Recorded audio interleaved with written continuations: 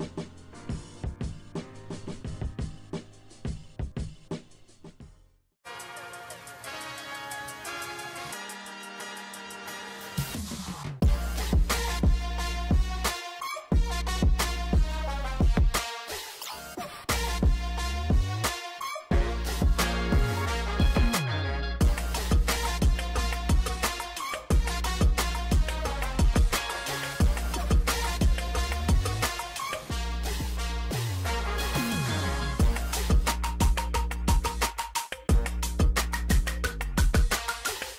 everyone.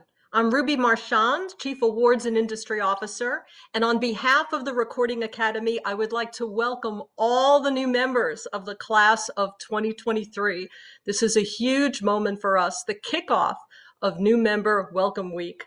Now, today we have a real treat planned for you an up close and personal conversation with our very own CEO, Harvey Mason Jr., in conversation with the one and only Keke Palmer. It's going to be incredible. But before we get there, wanted to say a few things. What is the real value of membership? Well, you're going to find out in this week. We have some amazing events planned, but it's very important for you to know that the Academy is dedicated to membership. That is the heart and soul of everything we do, whether it's philanthropy, whether it is work and advocacy, whether it's education and mentorship, and of course, our very own Grammy Awards, everything that we do is founded on the principle that membership is our community, membership is our peer to peer relationship that nurtures the excellence and integrity of every facet of how we dedicate ourselves to our community. So you are a part of that. Our elected leaders come from our members and help guide the direction and future of the Academy. And we're so excited to start this journey with you and for you. And today is day one, day one, which is really an amazing moment. I'd like to say a few words about the direction of the Academy. We call ourselves the New Academy. It's because we feel refreshed, energized. We feel that our members are more diverse, more dynamic, and, and more dedicated to what the Academy stands for. And all of this has come about during the time that our CEO, Harvey Mason Jr., has led the charge.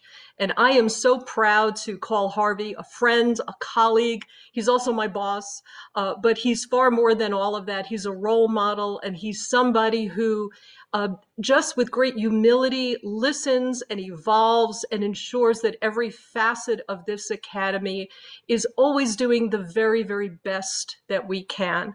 But I want to give you a little more background on Harvey, so I hope you'll be as interested as I am in his illustrious career. So, Harvey, as well as being our CEO, is a very accomplished songwriter, music producer, and movie producer.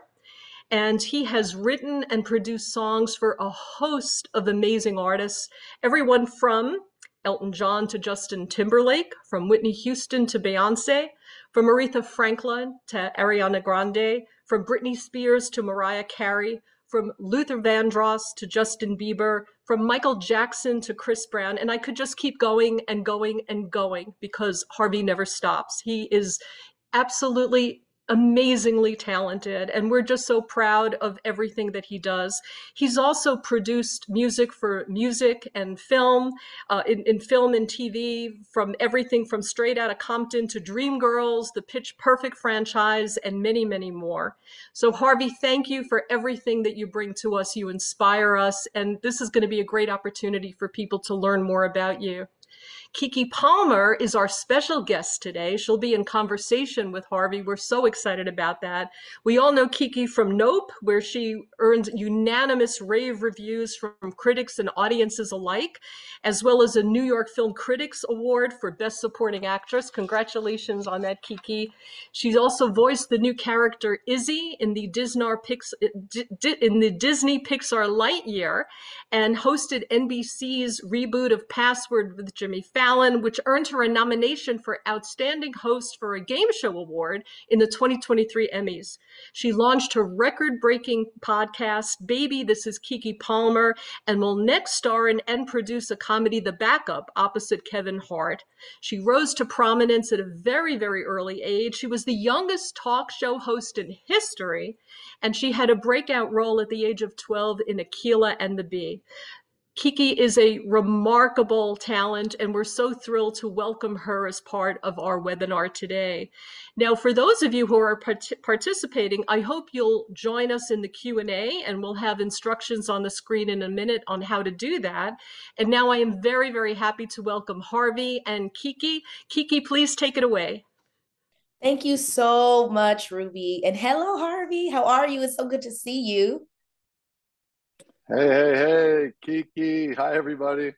Last time I saw you, you we were in uh, the studio with Tori Kelly. I know that's right. This is this is another opportunity to get together, but I always love working with you, Keke. Thank you. Yes. How have you been? You've been good, staying out the way of the hurricane. Yeah, I've been a little crazy. The hurricane, the earthquake, traffic jam. I mean, what uh, else can you throw at us? well, I'm glad we're here today and we get to talk because our goal is to get to know you a little bit better. I mean, for the folks watching, you can submit questions via the Q&A feature. So don't forget about that, guys. It's at the bottom of your screen. And time is tight, so we're going to jump right into it and get through as many questions as we can. So let's get into it. I mean, as we launch into the exciting new member welcome week. I am genuinely curious about your journey um, from your beginnings as a creator to where you stand today. So, I don't know, to start off, could you give us an overview of what new member welcome week is all about? Of course. And you touched on it. Getting to know me is okay. I think that, I mean, not sure that many people want to do that, but what everyone would like to do, I hope, is learn more about the Academy and what New Member Week means. Uh, we see it as an opportunity to just hear from some of the leadership of the Academy elected and from the staff side as well. And also just to learn about what it is the Academy does. Most people know about the voting, you know about the Grammys, the TV show, and the sexy, sizzly, like, you know, event that we do but there's so much more behind that. Uh, so I'd hope you could all kind of understand what we do, find a place, find what you're passionate about, see where you fit in, uh, and just really have all the tools to maximize the membership and the value of the membership to you and your career. Yes, I love that. I love that. Now, it's a funny thing. You grew up actually in a musical family, but when did you realize that you actually were destined for the creative path? Because sometimes it can be hard if you come from a family that's into something and you kind of want to steer off, you know. No, I was instant. I started playing piano when I was like two years old. I grew up, my dad was playing notes and I'd try and go find notes. And so I always wanted to be a creator. I wanted to write songs. I, I think I recorded my first song when I was age eight or nine. So it started really early for me. Always knew I could go no other direction. I love that. And it was the same for me. I, my mom did music. She recorded in the studio all the time growing up. And she let me and my sister do our first song when I was like seven or eight. And it's so cool yeah. when you hear uh, that kind of passion with family. Well, now, I want to hear your seven or eight year old song and I'll play you mine. Oh my gosh, yes. I will Harvey, don't play. I really will send you that. okay, come on, I got you. Now, how did your journey as a creator lead you to the Recording Academy? Like when did you become a, a member and kind of get into that that part of our industry? I should definitely know the date, but I don't. But it's probably 18, 20 years ago I became a member. And quite honestly, Keke, I joined because I heard if you joined, you could vote for yourself. And so I wanted to I wanted to get nominated. I wanted to win a Grammy. And I knew I couldn't vote for myself if I wasn't a member. So it was done under selfish reasons and selfish motivation. But once I became a member, I started to learn about some of the things that hopefully we'll talk about, which was all the other things that the Academy does beyond just the awards, you know, the advocacy and fighting for the rights of music people in DC, the education preservation, the work that the museum does to advance music, our Music Cares organization does, all the philanthropic work, the service, the give back to the music community. Those are just some of the things that the Academy does to make our community, our industry healthier and more vibrant and, and give us all the ability to do what we love and make music and hopefully use the power of music to make an impact in the world. I love what you're saying with that because sometimes it can be so surface when you think about the entertainment industry and what we do and, and, and how we're, you know, of course, like you said, initially thinking about just wanting to win a Grammy. But I think it makes the world so much bigger of how much you can actually truly touch and affect people with music when you realize what you can do when you become a member and you become a part of this type of community. Um, when you think totally. about when you think about yourself as a creator, I mean, do you feel like community is important to your success? Absolutely. Community's been everything to my success. Even the community of the Academy has made such a difference. The relationships I've made, the people I've gotten to work with and collaborate with, even it's in the studio. Uh, a lot of them I would not have met were not for the Recording Academy community or the collaboration amongst just other people in the industry that I've gotten to meet. And that's one good thing about the Academy is you will absolutely get a chance to meet and exchange ideas and share thoughts with some really cool and interesting diverse groups of people creators and that leads to i believe even more enhanced creativity and just flexibility and expansion of you know, the brain power that we have when we're sitting around creating songs or writing songs or engineering or producing or whatever all of our roles are they can be enhanced by learning taking in new information and meeting different people yes yes i mean i've heard this message that membership is the force behind everything at the Recording Academy, uh, from the mm-hmm. Grammy Awards, advocacy for music people, music education, philo- phil- uh, phil- philanthropy, or philanthropy, yeah. um, which you just mentioned. Can you talk yeah. about how members are driving all these different areas, many of which most people maybe haven't even heard of? Well, it's really what we're established on, and it's the foundation of the academy, and it is truly membership. Keke, you got it right. The members drive virtually everything we do. The members are the people who elect our elected leaders. They elect our, our governors and our trustees and our chair and our vice chair. So those are all done by member elections. Mm. Um, all of our committees, most all of our committees are, are made up of our members. And so our members are also the ones that are proposing changes to the awards or to pro- our processes. Uh, our members are the ones that are deciding what categories are, are added to our, our list. You know, we added three new categories this year. Those were based off of proposals.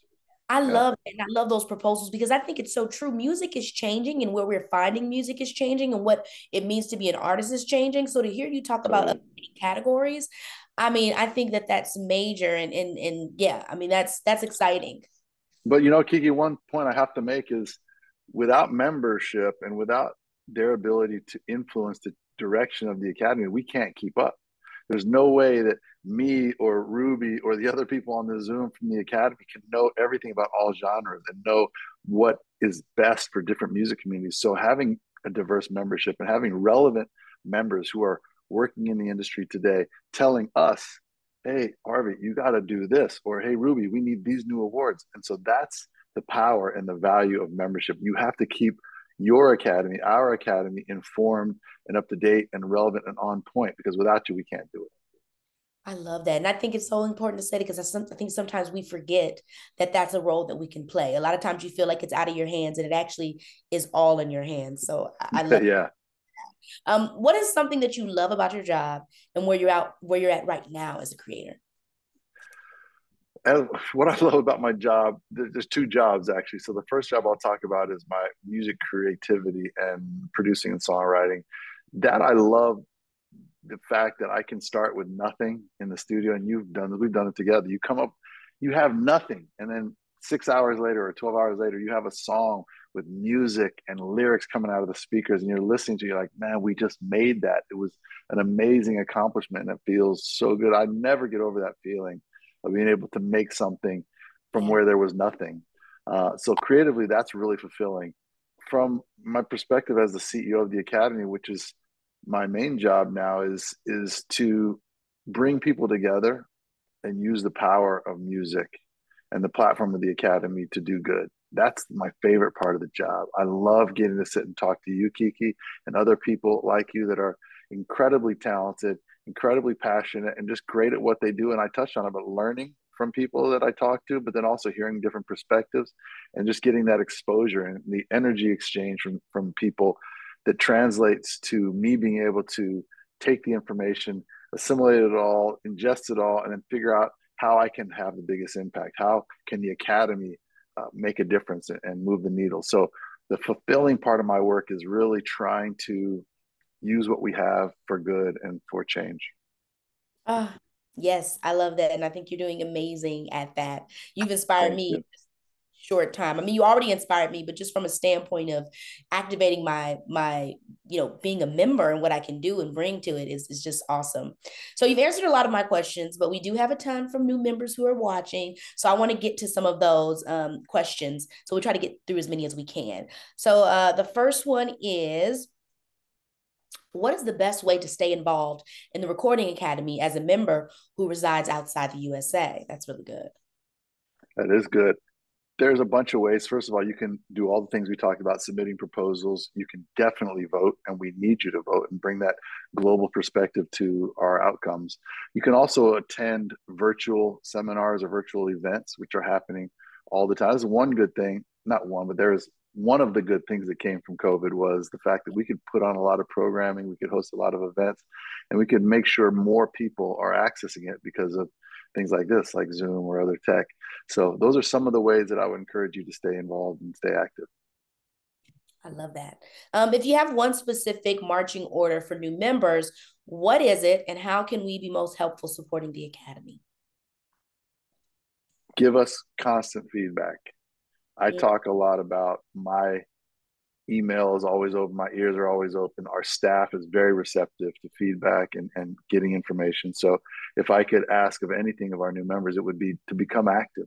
Nothing is going to change nothing is going to improve or evolve without your help. When we talk even about you know politics in our country and, and people are upset about something they feel like oh i don't want to get involved because i can't affect it well that's not the case at the academy you can absolutely affect it every aspect and component of what we do members can be involved and so my advice to you would be find what you're passionate about find where you want to make a difference where your heart is telling you you have to make a difference and laser in on it and come to us with ideas information feedback support however you can. Uh, yes. Um, you kind of answered this question, but I want to ask it again just in case there's any more that you have to say on it. But do Academy members have input on categories? Yeah, and it's a fair question. It's something I'm not sure everyone understands is when you are working in a genre of music, you have the best sense of what needs to happen. You have a sense of when you're not being heard, when you feel like there's not a place for you, when we're just using the wrong words to talk about your genre, that has to come from you all. I know, you know, a fair amount about music.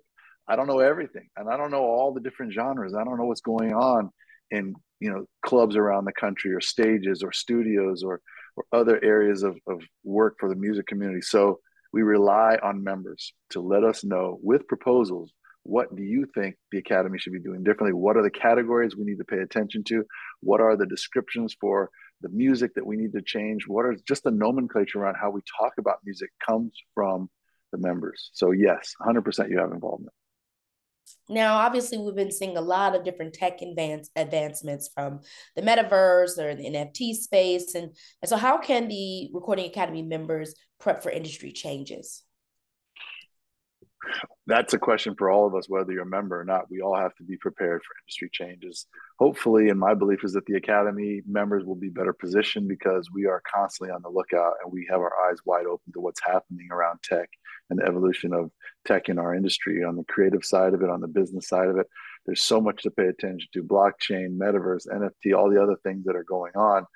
Uh, the Academy is abreast of all of that. We have teams in DC. We spend a lot of resources and and women and manpower on the ground, making sure we're across legislation. We're meeting with the Copyright Office. We're fighting and advocating for music people to be able to make a fair wage. These are all things that we're doing. So uh, the members can stay involved in that if you have a passion or even a concern about that. Working with our advocacy team, working on our advocacy committees. There's uh, our district advocate day. There's uh, Cap, uh, Grammys on the Hill day. So there's all these activations that our members can be a huge part of if you're concerned about tech or the future of music. Love that. Okay, what lessons can musicians, songwriters, music producers draw from the recent actor strike to enhance our own industry? It's a good question. It's a pretty deep question, Keke. Whoever's asking that, that's that's a tough one. what we can learn there is that we all have to advocate. We all have to stand up and fight for ourselves. We have to make sure that we're being treated fairly and equitably, and people are respecting our value. And as creators, that's something that we all have to do. We have to. We've done in the past. We've done it during you know some of the piracy days. Some of the other technological advancements have, have called into question what was our worth as creators, or it's diluted uh, our particular brand. So it's something that's nonstop, that's ongoing, and I see what is happening with the strikes for the film and TV side. Um, you know, we're not a union, and we, we're a membership organization, but we will continue to advocate on behalf of our members to the best of our ability. Love that. I think you answered that perfectly. Um, I'm loving that we're getting through a lot of these questions. Okay, the next one is the Recording Academy has been making strides in its effort to commit to diversity. What more can you share about the Academy's upcoming initiatives for diversity this year and into the next? That's a whole uh, Zoom here. We could go on about that for an hour, Keke. Honestly, we've had so many new programs because one of the things we needed to work on most at the academy was our diversity. I'm not talking just black and white. I'm talking gender balance. I'm talking about geography balance, genre balance. There's so many different things we needed to do to level set some of the things that we were doing in our membership and our staff and our committees, our elected leaders. These all these things need to be paid attention to because we're an organization that represents right now i think 91 categories all many many different genres different crafts different skill sets so we've started the black music collective we've started uh, the songwriters and composers when we have the producers and engineers when we have all these different areas of of very special specialized thinking and activation activation uh, so there's a lot of work to do there. There's still more to come. Uh, women in the mix. We've done women's groups to try and increase our our women's representation as far as voters. We committed to having 2,500 new women voters by 2025. We're almost 80% of the way to that goal. We've committed to try and bring up the Black representation because we know, based on the industry, we have roughly 33% of the industry's music is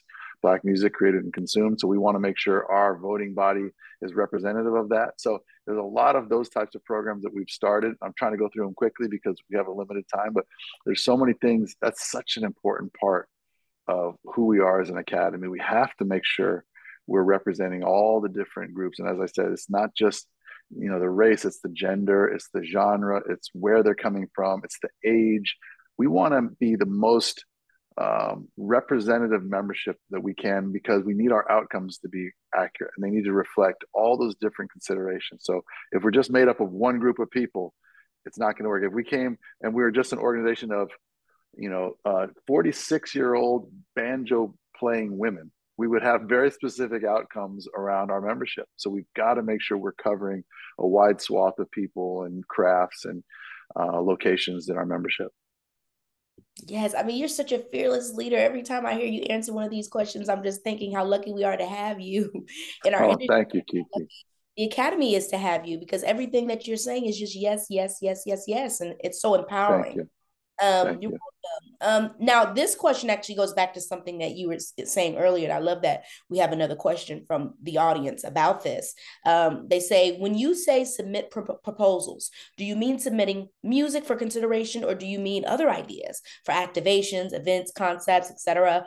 Um, and and and who would you submit that to? So two totally different things. Submitting music is one thing is done through you know the submissions process, online entry process, and that um, you know we had over twenty four thousand submissions last year. This year probably will be about the same. So we we take in a lot of music. There's an incredible amount of music being made this you know this year and every year. You know that we've seen with uh, what's going on with technology. There's more and more music being created than ever before.